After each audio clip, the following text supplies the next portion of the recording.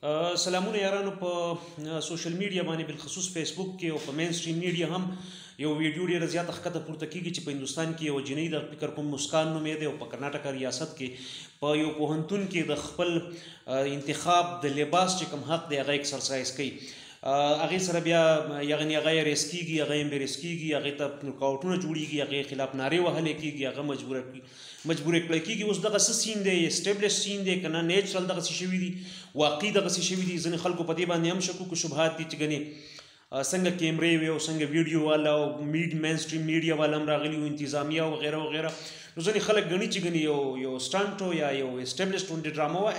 دغه اپارټ فرام دیټ دغه زمونږ نه کار دی چونکې مونږ دغه پیس ویلیو باندې ګورو چې مخامخ مونږ ته څه ښکاري نو هغه دا دي چې دغه جنۍ د خپل انتخاب حق چې کوم دی د لباس د انتخاب حق هغه ایکسرسایز کوي او دا د هر انسان په هر ځای کې په هر هیواد کې دا ټکی ډېر ضروري دی چې په هر ځای کې په هر هیواد کې په هر سیمه کې په هر منطقه کې په هر کلتور کې چې اوسېږي دا دغه انتهایی پرسنل ډومین دی دا دغه انتهایی پرسنل ذاتی انتخاب انتخاب دی چونکه لباس او خوراک او غوستن او عقیده او دا ټول خبرې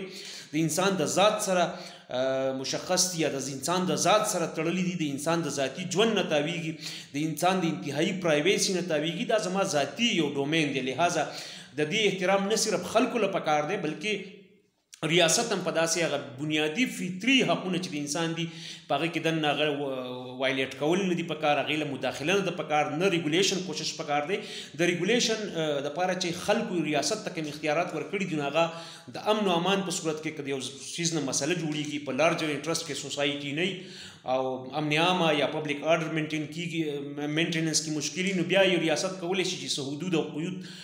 تیک یعنی څه حدونه، څه پیرامیټر، څه سټکیارډ خوښ کړي، خو په ذاتي معاملاتو کې لکه بیخي لباس چې کوم دی نو دا د هر انسان بنیادي فطري حق دی. وجه دا ده چې دا هر سړی د خپل ماحول مطابق، هر سړی د خپل پس منظر مطابق، هر سړی د خپل وسایلو مطابق د لباس انتخاب کوي، هر سړی د خپل هغه جغرافیې حساب سره یخ دی، موسم ګرم دی،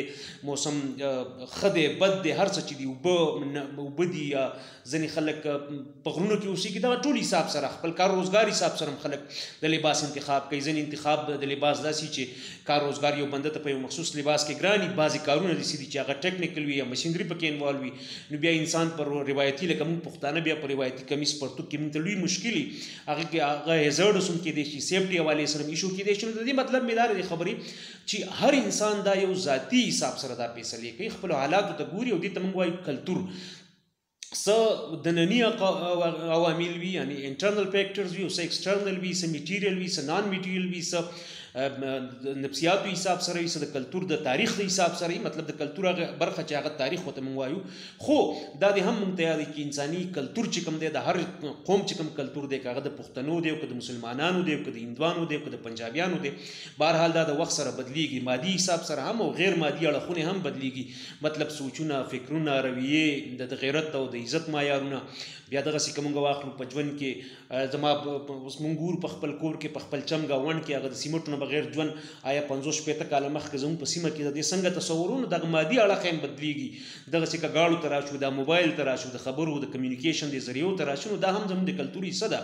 کلتور څه جامد څیز نه دی، بهرحال دا بدلیږي، موږ که ځان ته خپل لباس ته وګورو نو کیدای شي ددې هغه تیم بیسیک خو هغه لږ ډیر پاتې وي خو زموږ د نیکونو د لباس په شان نه دی او دا د نیکونو لباس خو ډیره لرې خبره ده دا زموږ د پلرونو د لباس په شان هم نه دی مطلب دا دی د ټولې خبرې مطلب دا دی چې انسانانو انتهایی ذاتی معاملات دي دا او په یو هیواد کې په یوه خاوره کې چاته دا اختیار چاته لاسکه چې حکومت ته ریاست ته ادارو ته انتظامیه ته په دې کې په دې ډومین کې د ورننوتو اختیار نشته ځکه دا د انساني انسان د فطري حقونو خلاف ورزي ده او د انسان د فطري صلاحیتونو قتل کول دي د همدا خبره ده چې انسان د ذوق په حساب سره د دومره پرمختګ چې انسان کړی دی نو د خپل ذوق لا خخ کارېدو له خسته په نظر راتلو له چې څوک کوي څوک نه کوي او د هر کلتور خپل حساب دغه پرده چې کوم د مسلمانانو ملکونو کې د دې بیا خپل خپل شکلونه دي په ملیشیا کې یو شان کیږي په سعودي عربستان کې بل شان کیږي دلته پښتنو په وطن کې یو بل شان په هندستان کې به یو بل شان تناظر دی او هغه مخصوص حالات دي څنګه چې ما وخت کې ورسته وی هر سړی خپل حساب ته ګوري نو دا انتهایی پرسنل ډومین دی دغه ماشومې دغه زنانه دغه خور انتهایی بادرۍ سره ریزیسټ کړی دی دغه دغه بد عمل چې کوم دی دغه مقامی انتها پسندو خو د انتها انتها پسندي هر عمل او په هر ځای کې هغه ناوړه دی هغه د انسانیت خلاف دی هغه د انساني حقوقو خلاف دی هغه د انسانیت د بشر توهین دی نو په کار ده چې مونږه اکراس ته بورډ اکراس دی افیلیشن لاینز چې لکه مونږه کنډم کو بلا امتیاز چې څه ته ویل یعنې دا رنګ او نسل او مذهب او د دې تمیز هم ونه کړو څوک هم چې د چا بل انسان بنیادي او فطري حقونه تروړي د ریاست په شکل کې د یو ګروپ په شکل کې د یو ګروهي غوندې انداز کې په چا باندې پریشر اچي یا ذاتي حساب سره لکه ما ته دا حق نه زه دا غواړم چې زما په انتخاب د لباس کې انتخاب د جیکټ کې انتخاب د کلر او رنګ او هر څه چې دی یا زه څه کول غواړم زه خپل شی او زه خپل ویښتان زه خپل لباس زه خپل پیزار کم برینډ کم نه کم کباړ هر څه چې کوم دا زما اختیار دی په دې کې د بل چا او د ریاست خو د ریاست بل د خلکو خو بالکل نه ایون د ریاست هم حق نشته او د خلکو خو بیخي نه نو سم چې زه دا غنم چې دا زما اختیار دی نو په کار ده چې زه دا هم ریلایز کما په کار ده چې ما سره دا هم احساسي چې دغه سی یو بل انسان دی هغه زما بشاني ژوندې انسان دی هغه هم دغسې ذوق لرلی شي، هغه هم دغسې فکر لرلی شي، هغه هم دغسې د خپلو وسایلو، خپلو حالاتو، خپل موسم، خپل روزګار، خپل هغه جاب نېچر په حساب سره، خپل عمر حساب سره، موږ ټول پوهېږو په دې معاشره کې چې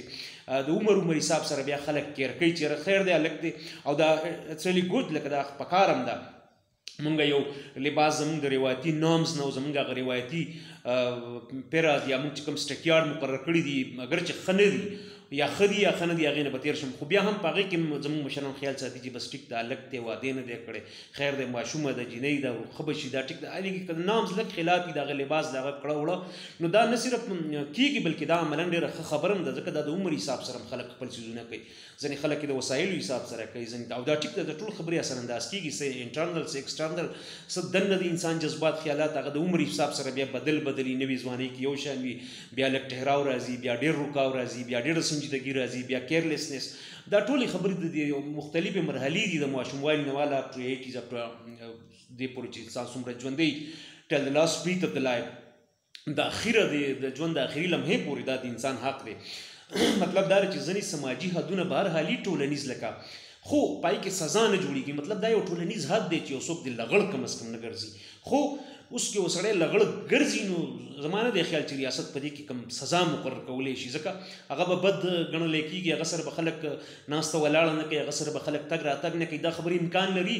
هغه هر انسان یو فطري انډاکټرینیشن همداسې شوی یو داسې کګنیټیو ډیولپمنټ چې ته وایې هغه شوی دی زمونږ چې لغړ به مونږ ولي چې سړی په حواسو کې او په اعصابې برابري نو زمونږ هغه کګنیټیو په په خاص کلتور کې زمونږ انډکټرینیشن شوی نو مونږ ته پته دغه پروګرامینګ زمونږ دې شوی دی چې مونږ لغړ ونه ګرځو نو مونږ ولې لغړ ګرځو دا اړو سوال نه پیدا کېږي خو که بیا هم څوک ګرځي نو دا اگر چې د روایتي نام نه دی هټ کر کار کوي یعنی پرته کار کوي اخوا کار کوي خو د ریاست او د بل انسان په دغه وخت کې د جبر د جبر په ذریعه د ودرولو د بدلولو د غستلو د خوراک د سخاک د تګ د راتګ د پیشې انتخاب دا کله هم د انسان حق نه جوړیږي نو باید چې موږ د هر انسان په هر ځای کې په هر هیواد کې د دغه بنیادی حق احترام وکړو موږ د دغه بنیادی حق احترام کوو یو یو سیکولر او یو سیکولر وړ ویو ده هغه هم دا ده چې هر انسان ته حق حاصل دی چې خپل ذاتي ژوند چې دی خپل شخصي ژوند چې دی هغه د خپل مرضۍ مطابق تر هغې تیر کړي تر څو چې بل انسان ته زیان نه رسي ریګولیشن هلته راځي د ریاست او د خلکو چې کله چې یو څوک ورایټ کوي یا وایلیټ کوي د بل انسان ډومین د بل انسان حقونه نو بیا ریګولیشن کېدی شي اذروایز چې دغه نینو دا انتخاب او خوراک او سیزونه کول او نه کول ښه کول بد کول دا د هر انسان د خپل ذات پورې اړه لري یعنی انسان خپل ذات ته پړ دی نه چې بل چاته نه چې ټولنې ته نه چې ریاست ته نو دغه ماشومې دغه جرأت ته به هر حال دولاسي سلام خو دا غوښتنه چې دغه حق په هر ځای کې په کار ده چې موږ په هر ځای کې بیا ودرېږو دومره اخلاقي قدر بیا زمونږ وي چې په هر ځای کې دغسې د لباس او د انتخاب په معامله کې په خلکو جبر کېږي نو چې بیا هغې ته بد وایو د ټولو د وخت راکولو یو جهان مننه